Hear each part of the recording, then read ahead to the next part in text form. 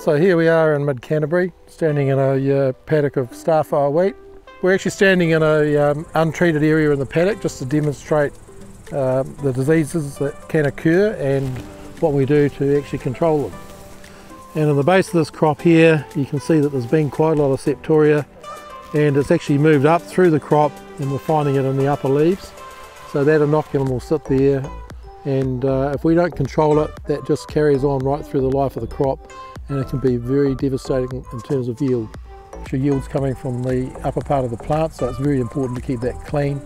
So it means that your uh, T2 timing at uh, GS39 when the flag leaf is out is very important.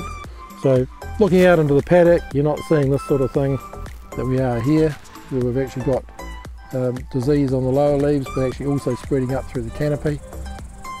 If we look out into the treated area, it's had a, uh, a fungicide on at T1, which in this case was Prosaro at a litre to the hectare.